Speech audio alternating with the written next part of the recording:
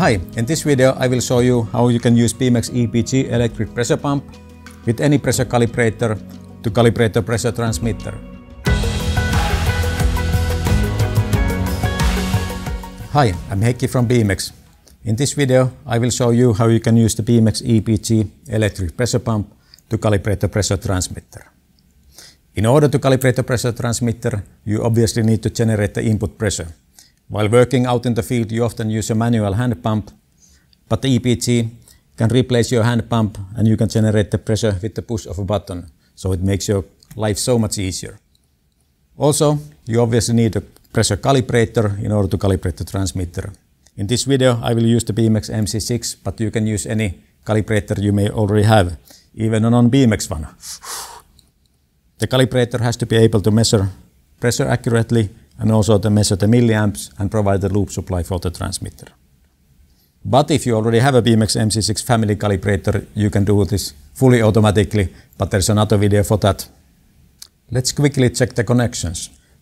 The pressure generated by the EPG is connected to a three-legged pressure hose, so the same pressure goes to our device under test, the transmitter, and also to our pressure calibrator.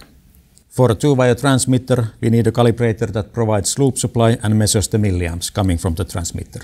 So let's make the calibration. The transmitter today has a range 0 to 5 bar, about 75 psi, and the output current 4 to 20 milliamps. And we will make a 3-point up calibration. So when I start the calibration with the MC6, it will tell me the first calibration point. That's 0. So I will vent the pump and I will save the readings. I will see the pressure input on the top left corner and the milliamp signal on the top right corner.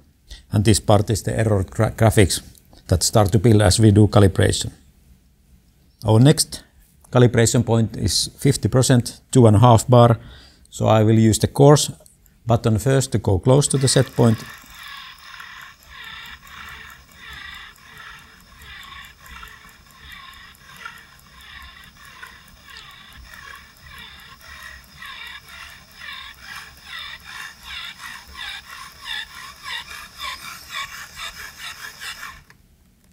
and then I will use the fine adjustment to go.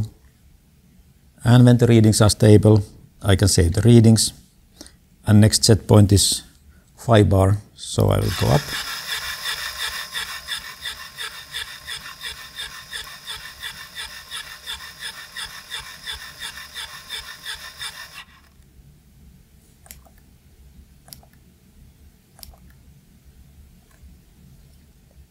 and when the readings are stable I will save the point. Now the calibration is completed and we can see that the results are passed. So this is how you can use the Beamex EPG electric pressure pump to replace your manual hand pump for pressure calibration. In this video I used the arrow keys to control the pressure, but if you have MC6 family calibrator you can do this fully automatically. You can use the EPG with any pressure calibrator, even with the non-Beamex ones. For more information on Beamex products, please check our website and YouTube channel. Thank you for watching.